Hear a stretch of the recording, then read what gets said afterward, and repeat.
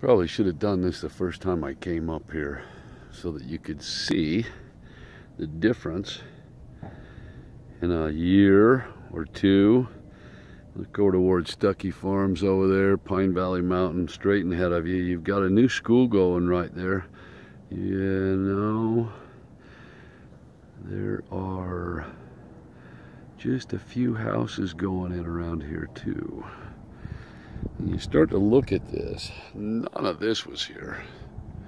Just five years ago, this is all, all filled in. This used to just be nothing but desert. So that's all Little Valley. You'll notice we're right here at the airport.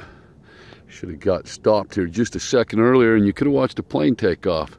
This is the new parkway that they put in, the southern parkway that goes from the uh, south end of the airport and heads up around into Sand Hollow right over there. So this mountain is uh, basically where you'd go if you go up on the sand dunes to the south of Sand Hollow. A lot of new stuff going on. That's all Stucki Farms over there. Big development. You've got, uh, I don't know, a couple of 400 houses in there in the last four years. But this is the real big development all down in here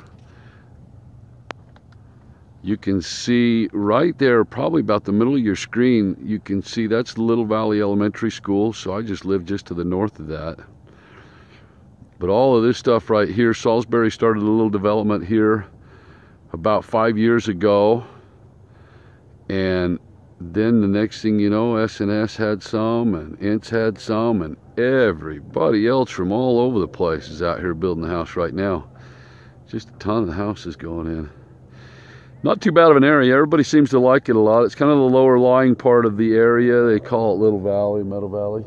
Oh, check this out. I'm just going to spin around here. Try not to make you too dizzy. But uh, looks like we have an arriving flight. This is just a little guy.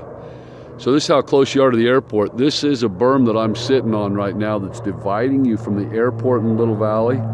So they're kind of coming in parallel to a Little Valley. You can come right up on the hill here and watch them land. It'd be really convenient to walk up the hill. You walk your dog up here or whatever. You can tell there's a nice, easy, accessible dirt road here. So this is where everybody's moving to Little Valley. If you would like to move to Little Valley, I would like to help you. My name is Shane Wood. I'm with Equity Real Estate. Been a real estate agent since 1991.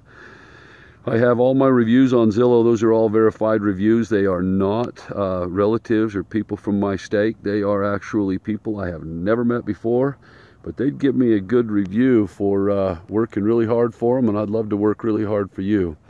Give me a call, 435 632 2446. Thanks.